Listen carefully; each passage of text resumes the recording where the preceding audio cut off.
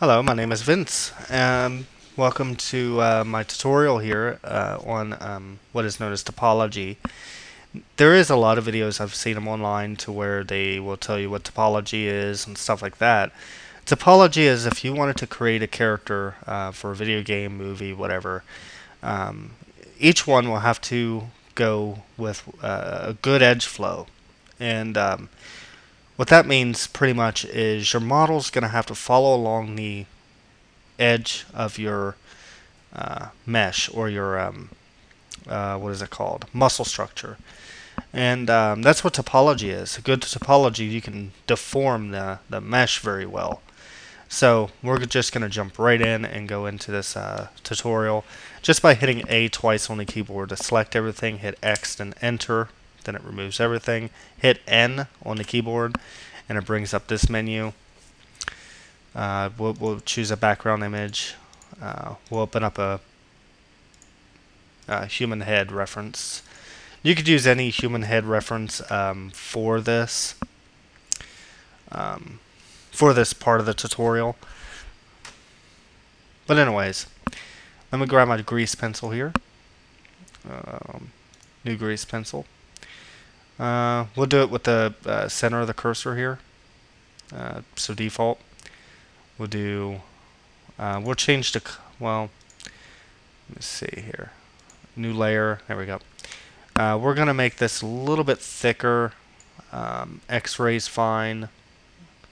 I'm going to make it more of a red color uh, so that, you, you know, you guys can see it better.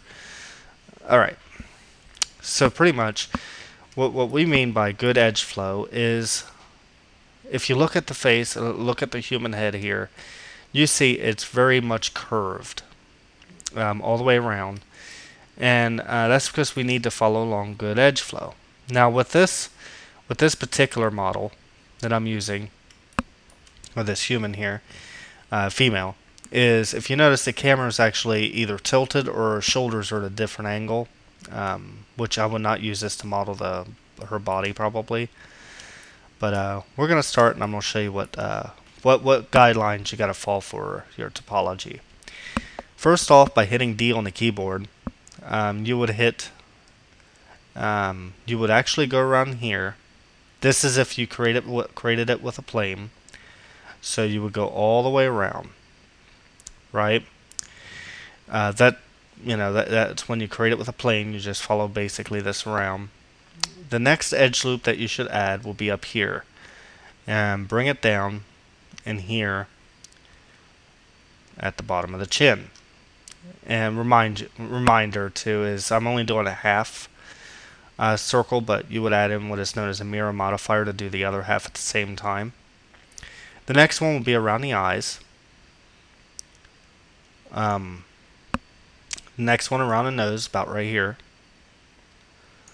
Um, then you would add one from the bridge of the nose in between these two and around uh, to here. Next one be, of course, around the lips. Um, the next one will go from the neck down here toward the back of the neck and around to the back of the head area. Um, then basically it'll uh, then you would extrude um, this section on up to the top of the head. Um, oh yeah, and then uh, you would have uh, another uh, loop here uh, for the nostrils. Um, and I think that might be about it. Uh, you will have one like, uh, you could have one if you want around the neck here. Um, and stuff like that to create your general um, design on your edge flow and and keeping everything consistent. Now we're gonna hit uh, D and we're gonna whoops that was my fault. We're gonna hit D and right click and just delete all this um, because I'm not done just yet. But we're gonna go over this one more time and this time I'm, I'm gonna show you how to um, do these a little bit. Let's delete them. By the way, I'm hitting D and right mouse clicking to remove all these. Alright, then you will hit D on the keyboard and just uh, draw like right here between the eyes and around. Okay, this is your first loop um, that you would want to do. Second loop, you could do the eyes, which uh, that's actually what I would recommend is doing the eyes as your second loop. Third loop, I would take it from the bridge of the nose here and down past the mouth and at the bottom of the chin. Second one will be at the top tip of the mouth and around. Alright. Next one will be from here and around. Next one will be from here and around. Alright. Next one will be from the, about the tip of the forehead here and bring it around. Around the ear and down to the bottom of the chin. Alright. Then that's that's pretty much um, what, what what it would be about. And pretty much always keep your even vertices because these vertices here will be connected like this, you know, all the way around. Um, these vertices here will be connected. Um, so these vertices will be connected here. Um, these verts will be connected here. Um, Alright, and so on. These will be connected down here. Um, these will be connected. And it, will be like that. Uh, whoops. Um, God dang it. Sorry, I'm hitting like the wrong button here. These will all be connected um, all the way around. I'm just showing you what how it would be connected. Um, these will be connected. Um, these here would be um, so on. It, you know, you get the general idea of what it would look like, and it would kind of look like this. Um, but remember, you know, you got this half over here that would be exactly the same as this. So we, what we would do is, like if we would actually create a plane by hitting Shift A plane, let's rotate it towards me. Um, so be I think X90. Yep.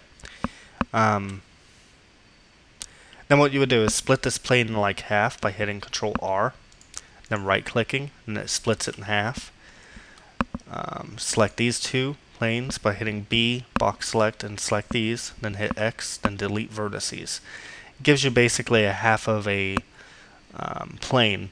Then you, what you do is go up here to this wrench, hit modifiers, and go down to uh, mirror modifier. And it puts an exact duplicate on the other side do clipping in the center, and then you would scale it down. I'm not modeling the human head, but I, I'm just giving you a rough idea of what it looks would look like. Um,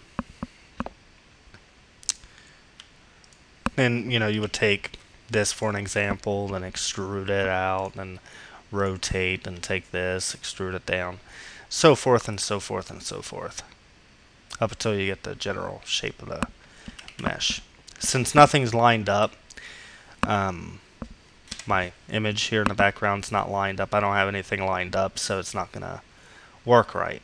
But this is not a modeling tutorial, it's just a topology tutorial. But uh, hope you enjoy it. That's that's the general topology on a human face and the um, in a way of doing it. You know, easier. Uh, your grease pencil is your best friend uh, when it comes to um, modeling the human face um, because you can actually set out your lines of where you're wanting to draw your uh, mesh.